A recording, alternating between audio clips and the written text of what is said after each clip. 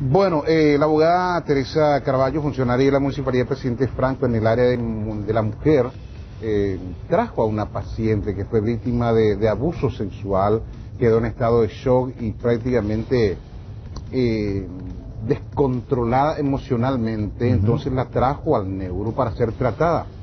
Es parte de la historia que ella misma nos va a presentar. Yo soy la abogada Teresa Carvalho, estoy viniendo, somos funcionaria municipal uh -huh. de la ciudad de Presidente Franco. Uh -huh. Manejé 332 kilómetros desde Presidente Franco hasta el hospital neuropsiquiátrico. Uh -huh. El jueves pasado fuimos a, a recogerle a una chica que fue encontrada abusada sexualmente sin identidad. Desde el hospital distrital le recogimos como Secretaría de la Mujer, porque somos funcionaria de ahí, ¿verdad? Le llevamos desde el jueves que le tenemos, jueves, viernes, sábado, domingo, lunes. Hoy vinimos porque tiene problemas eh, psicológicos, no sé si son psiquiátricos. En síntesis le medicaron acá, fuimos bien atendidos por la doctora. Llamé al 137, que es Fono Ayuda para las Mujeres que sufren violencia.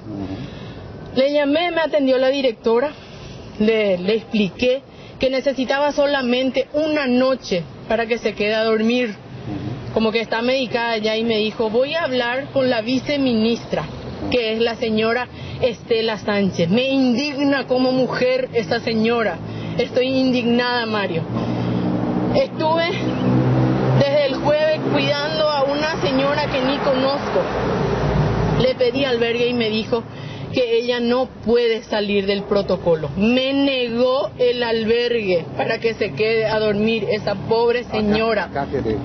No, en el albergue. Ah, en el albergue. En el albergue de mujeres uh -huh. que sufren violencia. La viceministra Estela Sánchez, que me da vergüenza como mujer, yo viniendo desde presidente Franco a esta, se supone que es una funcionaria pública aquí en nosotros por nuestro voto le elegimos y que, que, está en un cargo en donde le tiene que ayudar a mujeres vulnerables, a mujeres que sufren violencia, en donde tiene que velar por los derechos, por la seguridad, que tiene que velar también por el bienestar de cada una de las mujeres. Me negó el albergue.